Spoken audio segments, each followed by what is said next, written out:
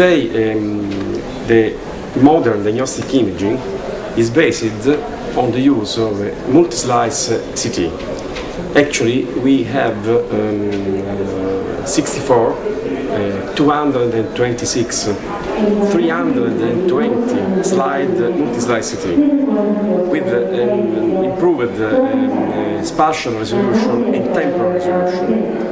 Uh, in fact, it's possible to study uh, little vessels as coronary tree in movements. And this is one of the most point of interest uh, new modern technique in radiology today.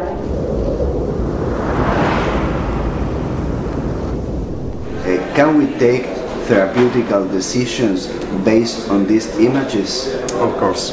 In presence of uh, a coronary plaque with the lip core, it's uh, mandatory uh, to improve uh, therapy with statins uh, for the control of the um, cholesterol, cholesterolemia and uh, other factors in the, in the blood of the patient.